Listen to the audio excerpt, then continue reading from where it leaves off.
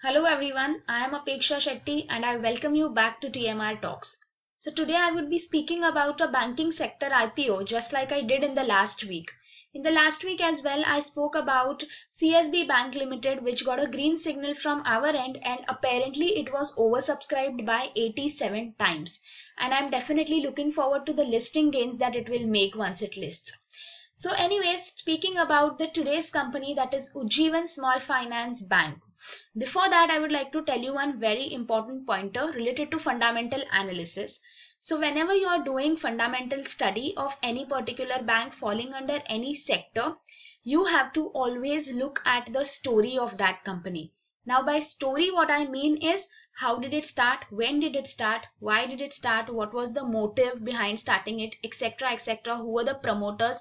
So once you answer all these questions to yourself and then when you link all that story to the financials, numbers, peer comparison, figures of the company, then you get a hundred percent clear picture about the entire thing and that's the idealistic way in which you should invest your money into any asset class for that matter. So today we would be doing something similar to that. Uh, before uh, while starting with this company, I'll tell you a little backstory of this particular company. So let's start. So once upon a time, in the year 2004, a private limited company was established which was named as Ujjivan Financial Services Private Limited and the motive of this company was to provide full range of financial services to the economically active poor. So basically the category of people who are not getting banking facilities. In the next year that is 2005 the RBI gave them a green signal to start their operations as an NBFC.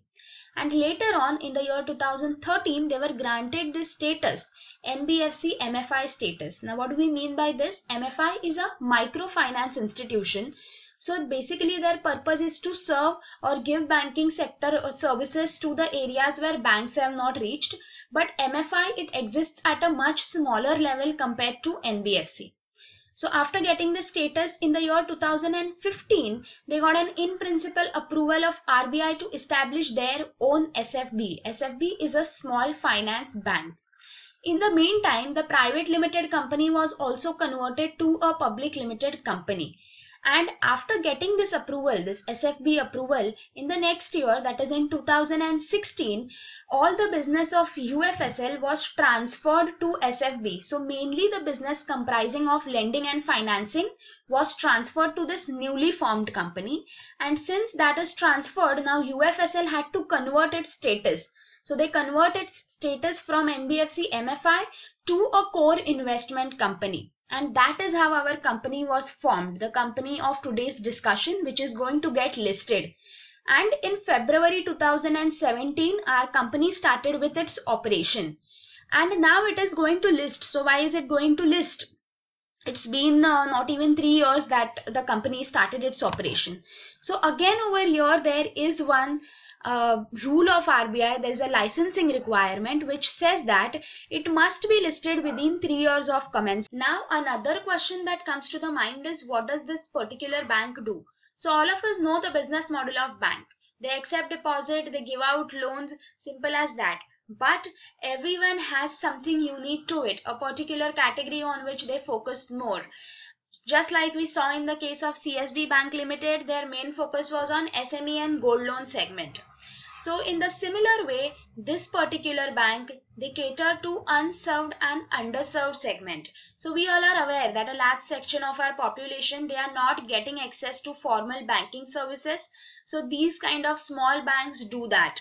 So they mainly cater to small business units, small and marginal farmers, micro and small industries, plus unorganized sector entities as well. Speaking a little more about the bank, they have got presence in 24 state and all the union territories and as of September 2019, the bank operated 235 banking outlets located in 107 districts. So now these 107 districts were classified by the RBI as underbanked districts. Okay. So what do we mean by underbanked districts is that in these districts, the average population per branch is more than the national average. So there is one rule of RBI which says that all the small finance bank should have at least 25% of their banking outlets in these unbanked rural centers. So that is why our bank is also having 25% presence in those many districts. Talking about uh, the next thing, they've served 4.72 million customers as of June 2019. Plus, the company is working on increasing their retail deposit base because that's a cheaper source of funds. So, as of FY19, 43% of their deposits are from the retail category. And along with that, they are trying to expand their distribution network, offer new products, which will help them in diversifying their revenue stream this particular chart here shows the geographical presence like i told you they are present all over india in 24 states uh, and this is the diversified portfolio. So they are giving out loan to agriculture personal loan vehicle education all these kinds of loans are given by the company. Now let us talk about the financial statement analysis and a lot of numbers related to this bank so this is the loan portfolio of the bank. This is the loan book which shows us what are the categories to which the loan has been uh, given to by the bank. So micro banking is one category where 84% of the loan is given and as of September 2019 79% loan is given to micro banking. Now, one problematic thing is that the loan dispersed under this category, for this they do not take any tangible asset or collateral. So that is why it is done on a joint liability group model. But again, there is no 100% assurance that, you know, it will help them in getting back the entire loan amount. So that is one problem. But again, a positive factor that they have mentioned is that no single state has been given more than 18% of the overall loan. So that is why they are trying to reduce that particular risk related to geographical area to a certain extent. So for example, there was there was problem in Kerala because of the floods. So uh, people who must have taken the loan, they might not have been able to give to fulfill their uh, uh, you know responsibility of paying back the loan. So that is why 18% is what they've kept and the average loan duration is 19 months under for this micro banking category. Now the next is your uh, okay so this is also the average ticket size. Uh, we can see that for micro banking it is uh, approximately 27 to 32 percent. And then there is MSE which is 7 lakhs. Affordable housing loans are also somewhere around 8 lakhs 6 to 8 lakhs. Next is your deposits and advances. We can see that advances are going up. Like we already saw in the table. Your deposits are also going up and this is the share of total deposit with these major depositors. So here again the problem is that the fund is dependent on these many accounts for the funding so although it has reduced to 34% uh, as of uh, September uh, 2019, but then too should, they should further reduce it, reduce it so that they don't have, they don't rely on a particular bank for most of their funding. If one account also goes, that will be uh, a problem. That will be a funding risk to the bank. Now we can speak about the ratio analysis. I've got a lot of ratios in one particular Excel. This is the ratio analysis table which will give us a crisp idea about the financials. Let us start with the operating ratios. The first is yield on advances. It shows the interest earned on advances and it has maintained stability. Next is cost of fund. It is higher. So they need to reduce it. If you look at the CASA ratio here, it is the current account and saving account ratio. If this they are able to improve then the cost of funding will reduce because that's the cheaper source of fund talking about cost to income ratio that has to be reduced which means the operating expenses of the banks should be reduced and the next is net interest margin. This is in a good position. Now when we talk about this small finance banks or microfinance institutions they usually give out loans at a higher rate of interest compared to other banks or nbfcs that is why this is always going to be at a good level talking about the productivity ratio the bank business per employee and business per branch both are improving both are in an uptrend and they have mentioned in their RHP that they are focusing more on improving their technology. They have rather invested already in technology to automate all the operations. Plus they are using data analytics wherever possible. So if this is done and I believe in the future per the cost of uh, uh, you know employees that they have to incur which is uh, uh, one of the main cost for a banking company that should reduce in the near future. So in case of private sector banks we have already seen that employee per branch are reducing because a lot of things are getting automated. So if this company is saying that they are using this technology and all then uh, that cost should be reduced which will also help in reducing the cost to income Next is the solvency ratio NPA which is the main problem for any bank. This is lowest of this bank. So compared to all the peers they've got least of the NPA, gross NPA and net NPA. Next is the capital adequacy ratio which is at a good level. It is 18% and once they will be raising the capital it will improve. It will go to 22% so they have already raised 250 crores before this IPO. They will be raising 750 crores right now. So this total 100 crores will be going to their capital.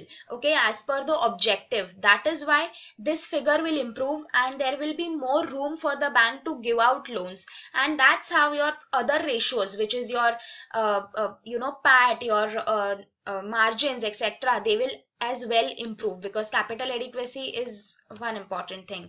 Uh, later on your uh, uh, book value if you see is this. The price to book value is 2.39 and the EPS is just improving. It is 1.21 1.14 so uh, talking about this bank since they started their operations in Feb 2017 we are really not able to see these figures or judge the bank based on these figures of FY17. So mainly we had to look at the 18, 19 and half yearly figures. So all these fundamentals so far they are looking good. If they are able to improve the uh, cost to income ratio the profitability will increase.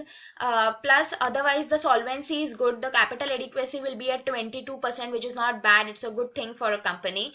And now i think we should directly hop on to the peer comparison this is the peer comparison table of the bank. Like I already told you, they have got the least of gross non-performing asset.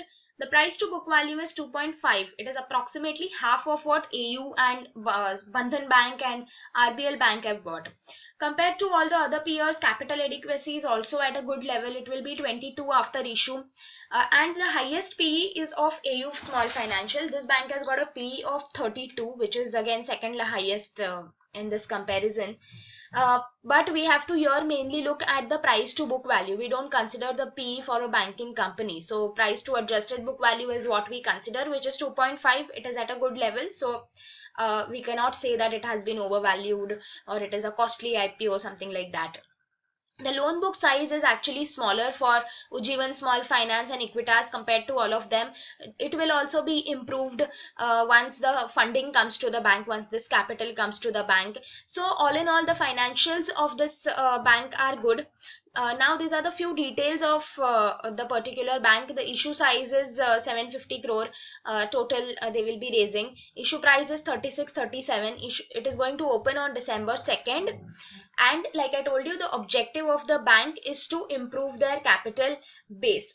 So for this particular banking company, we see a good future the CEO has also mentioned that they are looking forward to tapping more unserved areas and we already know that the economy is at a bottom. Credit is required for all the businesses and all the sectors to run their operation properly.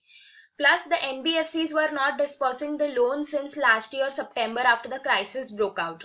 So that is why people are in need of money and if these are the kind of banks who are going to serve the people where banking services have not reached, then I believe if they are able to maintain their NPA levels properly and charge more interest rate like they are doing, we saw in the uh, ratio analysis. So then uh, uh, this will be a good bet for going ahead and investing. So i believe you have got your answer. You can go ahead and invest. If you have any questions you can uh, let us know. If you uh, have any you know suggestions for our further topics you can definitely inform us. And do subscribe to the channel so that you don't miss out on some hardcore research that our team does. Thank you so much